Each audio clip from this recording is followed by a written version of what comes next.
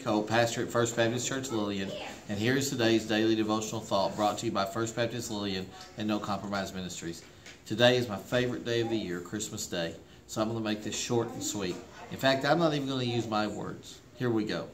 For unto us a child is born, unto us a son is given, and the government shall rest upon his shoulders, and his name shall be called Wonderful, Counselor, Mighty God, Everlasting Father, Prince of Peace.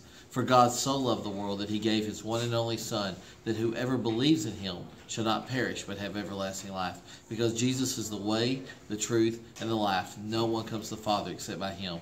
On behalf of myself, my beautiful wife Dana, our incredible children Cheyenne and Destiny, to all of you, Merry Christmas.